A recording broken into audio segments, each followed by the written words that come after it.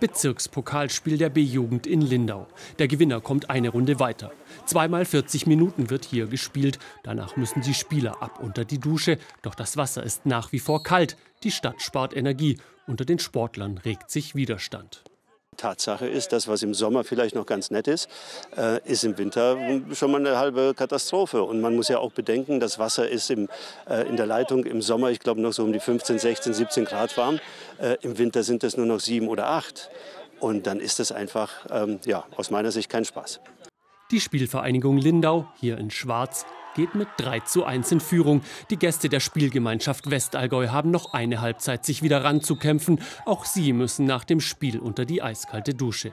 Seit dem Sommer ist das so. Mit der Gasnotverordnung der Bundesregierung hat die Stadt das Warmwasser hier abgestellt.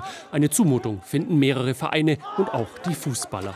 Die Bedenken gehen dahingehend, dass äh, uns schon die ersten Eltern ähm, informiert haben, dass sie ihre Kinder nicht schicken werden, wenn die anschließend nicht duschen können, sondern mit dem Fahrrad oder abends dann äh, nass geschwitzt nach Hause müssen in, in der Kälte.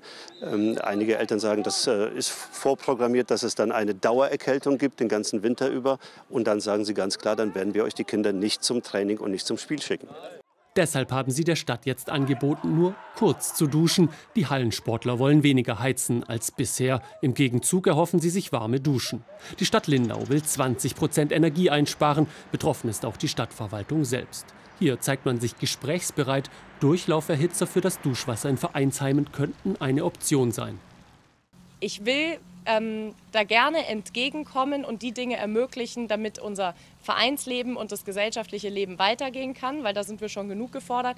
Aber es wird auch weiterhin Komforteinschränkungen brauchen und aus meiner Sicht sind es primär Komforteinschränkungen. Ich finde, das muss man auch sich bewusst machen. Das Spiel der B-Jugend ist inzwischen abgepfiffen. Es geht in die Kabinen und ab unter die Dusche. Nur ein paar wenige aus der Mannschaft trauen sich heute unter das kalte Wasser. Immerhin sind die Spieler nach gut einer Stunde Sprints über den Rasen ordentlich aufgeheizt. Tut auch gut nach dem Spiel oder nach dem Training. Aber Winter heißes Wasser wäre besser. Übrigens hatten die Gäste aus dem Westallgäu davor das Spiel noch auf ein 3 zu 3 ausgeglichen. Ein Elfmeterschießen musste entscheiden. 9 zu 8 hieß es schließlich für Lindau. Trotz kalter Dusche haben die Jungs also einiges zu feiern.